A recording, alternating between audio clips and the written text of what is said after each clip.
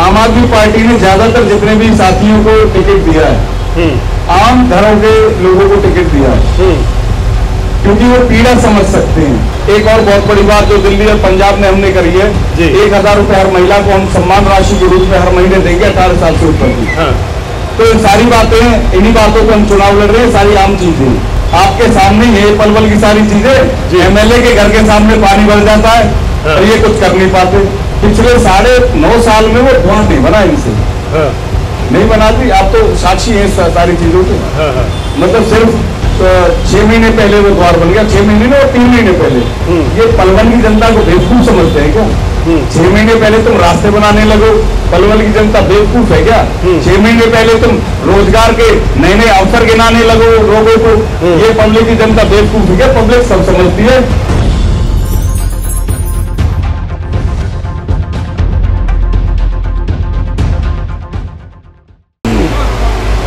हरियाणा में विधानसभा चुनाव शुरू हो चुका है।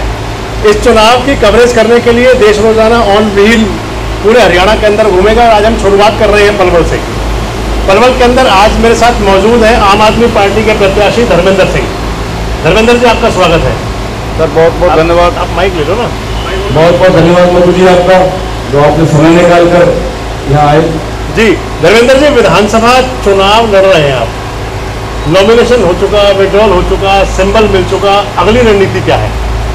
अगली रणनीति लोगों के घर घर तक जाने की हाँ। तो लोगों को डोर टू डोर नॉक कर रहे हो।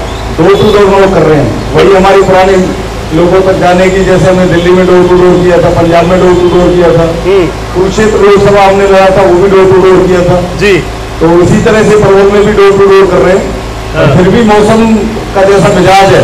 हाँ आज इंद्र देवता बिल्कुल प्रसन्न है। बहुत ही ज़्यादा प्रसन्न है। और एक चीज़ और ये है कि वो इनसे नाराज़ भी है बीजेपी कांग्रेस वालों से। वो वो नाराज़ है वो पोल खोलना चाहते हैं उनकी कि उन्होंने कितने रास्ते बनाए कैसे रास्ते बनाए हैं। कितनी जल्दी पानी भर जाता है हाँ। गलियों में सीवर ओवरफ्लो कितनी जल्दी हो जाते हैं नालियों में से पानी कितनी जल्दी निकल जाता है हाँ। तो इंद्र देवता उन्होंने जो काम किए ना उसको उजागर करना चाहते हैं अभी आपने कहा कि हरियाणा के अंदर सरकार ये कांग्रेस और बीजेपी की पोल खोल रहे हैं आपने ये कहा हाँ जी इंद्र खोल रही हैं उनकी पोल कल दिल्ली में इंद्रदेव ने पोल खोल दी आपकी सरकार की दिल्ली सरकार की। देखो जी दिल्ली का पच्चीस प्रतिशत हिस्सा है हमारे पास में। अभी आपने सब कुछ देखा होगा कैसे बीजेपी के जो चंद विधायक नगर निगम आपके पास है जो भी पूरे जो बहुमत में भी नहीं सिर्फ़ आठ है।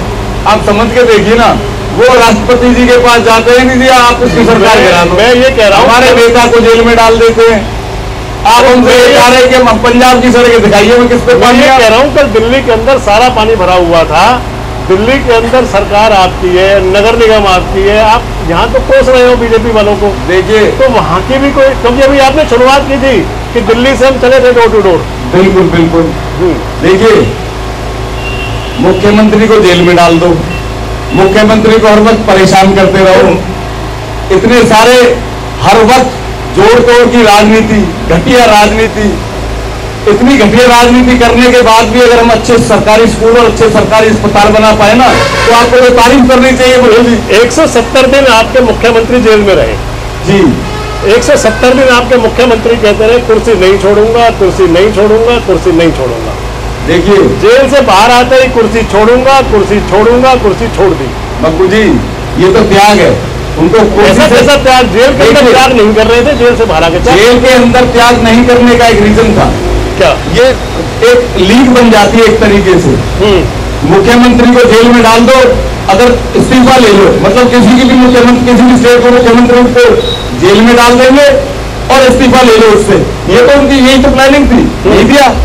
हाँ। यही तो जगह हाँ। नहीं दिया इस्तीफा जेल से बाहर आकर दिया लोगों के लिए कि हाँ। अब जब तक मैं ईमानदार साबित नहीं हो जाता तब तक मैं मुख्यमंत्री की चलो पलवल में बाद में आऊँगा एक लास्ट सवाल आपसे यही कर लूँ। जी। आपके भी हर जगह मापदंड बदल जाते हैं। जब आप विपक्ष में आप लोग थे तो आपकी पार्टी के मुखिया कहा करते थे कि अगर किसी पर आरोप लग जाए तो उसको इस्तीफा दे देना चाहिए। इस्तीफा दे करके उसको फिर मैदान में जाना चाहिए। और जब आप खुद सत्ता में आ गए आरोप लग गए आरोप एक दो तीन चार आरोप पर आरोप आपकी आधी सरकार जेल चली गई लेकिन इस्तीफा कोई नहीं देगा। मुझे एक बात बताइए मुझे जी। सत्येंद्र जैन जी जेल गए थे? हाँ। इस्तीफा दे के गए थे? जी। मनीष सिसोदिया जी जेल गए थे इस्तीफा दे के गए बाद थे में लिया गया। नहीं बाद में लिया गया पहले दिए गए जो तो जेल जेल के अंदर ही तो थे तब दे दिया था। जी।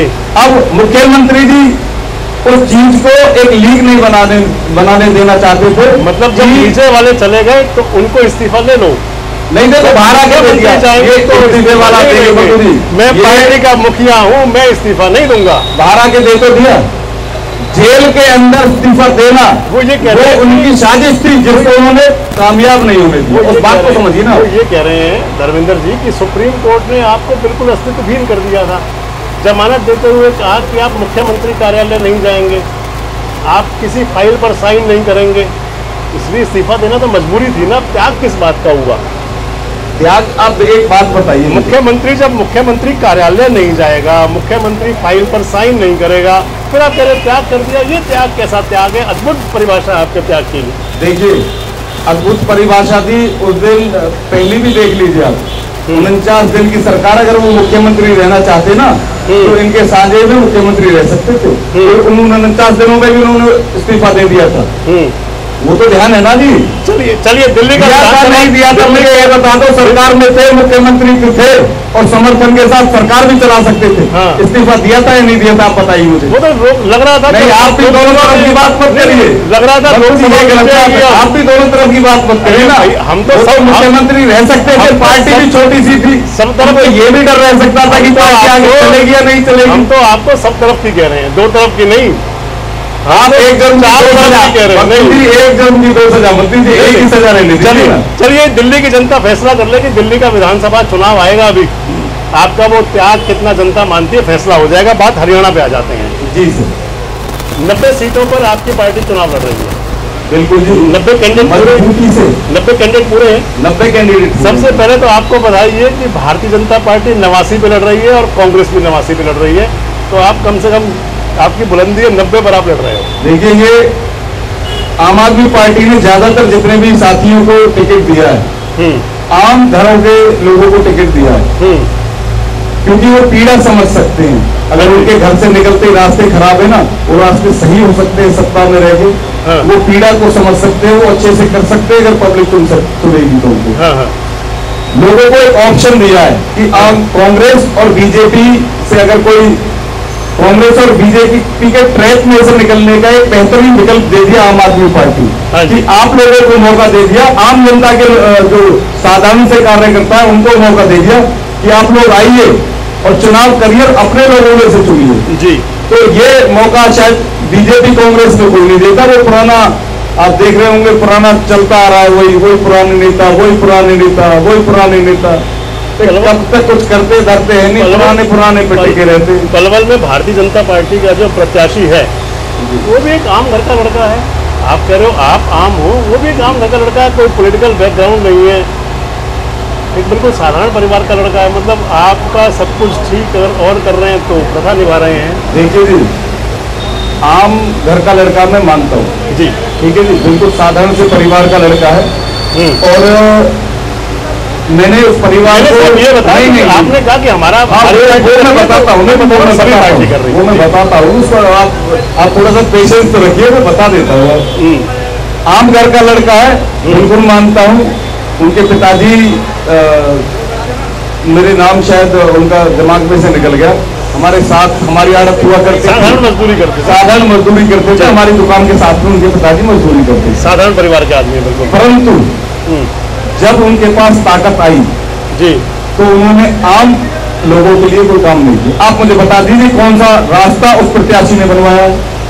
अगर पलवल के अंदर काम नहीं हो रहे थे दीपक मंगला जी नाकाम थे काम करने में तो कौन सा काम उस उस भाई ने करा दिया हमारे गौरव गौतम ने? हम्म, आपके सामने ही है पलवल की सारी। चीज़ें एमएलए के घर के सामने पानी भर जाता है हाँ। और ये कुछ कर नहीं हाँ। पाते एमएलए से 500 मीटर दूर हाँ, कमेटी है उस कमेटी की जर्जर हालत है उसमें जो लोग जाते हैं वो जाते हुए परेशान होते हैं। हम्म, मतलब कोई एक एक आदमी तो घर में वो पोर्टल पोर्टल पोर्टल खेलने के लिए चाहिए। किसी की इनकम खराब हो गई किसी की इनकम गलत चढ़ गई हाँ, किसी का आधार कार्ड में डेट ऑफ़ बर्थ चेंज करानी है किसी किसी को मृत्यु प्रमाण पत्र किसी को एनओसी किसी को जन्म प्रमाण पत्र हाँ। उसके लिए चक्कर लगाते रहते रहे मात्र 500 मीटर की दूरी पे। ये लोग नाकाम रहे थे इसीलिए इन्होंने चेहरा बदल दिया क्योंकि मंगला जी के चेहरे पे तो चुनाव जीत नहीं सकते थे। अच्छा। वो ठीक था भाई है हमारा गौरव गौतम। हाँ। साथ हमारे जो जूनियर्स थे उनके साथ पड़ा था। हाँ हाँ। देखिए मैदान में अब लोग तय करेंगे किसको जिताना है किसको नहीं जिताना। चेहरा बदलने का अभी अभी एक और हाँ, एक और चीज़ मैं आपको इसमें ऐड कर देता हूँ। हाँ। ये पलवल का द्वार भी आपने देखा होगा। बना हुआ है आजकल। है जी आज बना है जी यही तो यही तो मैं आपसे आपने आज कहा है ना यही मैं आपसे कह रहा में आज बना हुआ है। मैंने आपसे यही कहलवाने के लिए कहा है। हाँ। पिछले साढ़े नौ साल में वो द्वार नहीं बना इनसे। हाँ। नहीं बना थी आप तो साक्षी हैं सारी चीज़ों के। हाँ मतलब सिर्फ़ छह महीने पहले वो द्वार बन गया छह महीने में और तीन महीने पहले। हम्म। ये पलवन की जनता को बेवकूफ़ समझते हैं क्या? छह महीने पहले तुम रास्ते बनाने लगो। पलवल की जनता बेवकूफ़ है क्या? हम्म। छह महीने पहले तुम रोज़गार के नए नए अवसर गिनाने लगो लोगों को। हम्म। ये पब्लिक की जनता बेवकूफ़ है क्या? पब्लिक सब समझती है और इनको इनका जो चेहरा है ना चेहरा चाल और चरित्र वो सब दिखा देगी इनको इस बार जब वोट होंगे। एक ड्रास्टिक चेंज आने वाला है। जी। पलवल में कैसा रिस्पॉन्स मिल रहा है लोगों का? देखिए हम मार्केट में निकले थे। जी। आगरा चौक से पुराने सोना मोड़ नए नए सोना मोड़ पुराने सोना मोड़ होते हुए मीनार गेट से अंदर गए और कमेटी चौक पे हमने जो हमारा डोर टू डोर कैंपेन था हम्म। हम शॉप टू शॉप गए थे जी। मैं आपको बड़ी उम्मीद के साथ बताना चाह रहा हूँ। मैंने लोगों से एक बात कही थी बस हम्म। कि मैं उम्मीद के साथ आया हूँ आपके पास और भरोसे के साथ जाना चाहता हूँ। जी। हर दुकानदार ने भरोसा दिया था। हाँ। जो भी रास्ते में हमारे वोटर मिले थे हमारे लोग मिले थे पलवल की जनता मिली थी हम्म। उसके चेहरे पे देख के ना इतनी खुशी थी कि हाँ आज कि अब हमारी लड़ाई लड़ने वाले आम लोग हम जैसे लोग मैदान में हम्म। आप देखना मतलब लोग ऐसे एक्सेप्ट कर रहे थे हमारी बातों पे इतना विश्वास करते हैं ना लोग। जी। तो उनकी आँखों में दिखता है उनके चेहरे पे दिखता है। हाँ हाँ। और वो जो खुशी है वो आपको आठ तारीख को जब नतीजे आएँगे तो पता चलेगी। आपके चेहरे पर भी चमक आ गई उनकी चमक देख करके। ये तो स्वाभाविक है जी। जी। जब चाहने वाले लोग मिल जाते हैं तो अपने आप ही चेहरे पे चमक आ जाती है। पलवल में किससे मुकाबला मान रहे हैं? पलवल में आम आदमी का मुकाबला है जी। आम आदमी का आम आदमी से? नहीं आम आदमी का भ्रष्ट नेताओं से डराने वाले नेताओं से भय पैदा करने वाले नेताओं से भ्रष्टाचारी नेताओं से। जी। आम लोगों का चुनाव है ये। धर्मेंद्र सिंह मायने नहीं करता। धर्मेंद्र सिंह को पार्टी ने चेहरा दे दिया। हाँ। लड़ाई तो हम लोगों की है ना। हाँ। उनको सरकारी स्कूल बनाने हैं अच्छे जिनमें बच्चे पढ़ सके। उनको सरकारी अस्पताल बनाने हैं जिनमें अच्छा इलाज हो सके। छह छह महीने मशीनें खराब पड़ी रहती हैं। ना सीएम को कुछ करता ना विधायक कुछ करता ना और बाकी अधिकारी कुछ करते। युवा बेरोजगार लोग रहे हैं जैवलिन उनके हाथ में होना चाहिए था क्रिकेट बैट होना चाहिए था कलम किताब होनी चाहिए थी। हाँ। बहुत सारे युवा डिप्रेशन में जाके नशे की तरफ़ जाने लगे इंजेक्शन होता उनके हाथों में। बताइए इसको कौन रोकेगा? ये देश का भविष्य है सारी चीज़ें। जी।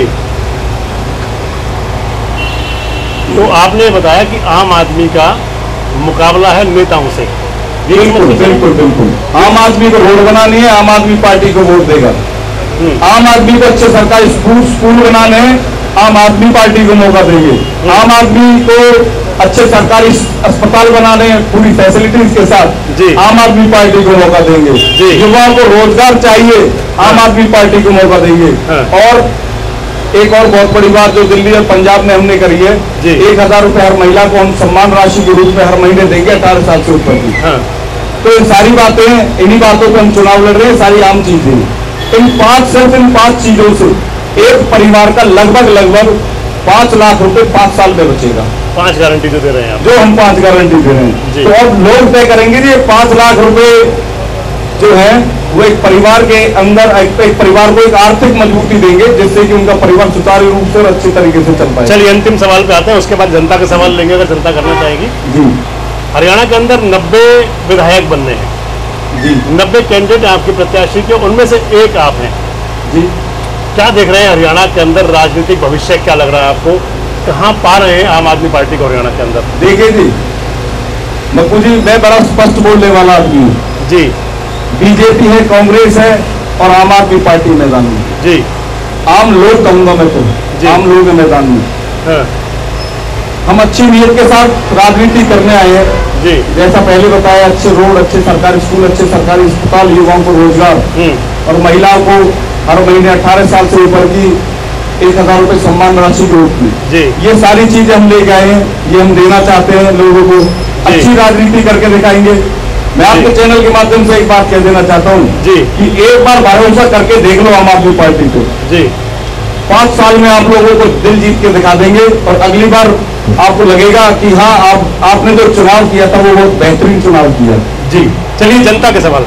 अगर कोई सवाल आप करना चाहें तो जनता के पास माइक भेजेंगे किससे? कोई सवाल करना चाहेंगे आप लोगों में से? नमस्कार जी। देश कोरोना का जारी चौपाली में सब सब लोगों का स्वागत है। लेकिन जो आम आदमी पार्टी अपना उम्मीदवार उतारा धर्मेंद्र सिंह ये बहुत अच्छा काम करेंगे और आम आदमी हर दिन अच्छा ही काम करेंगे।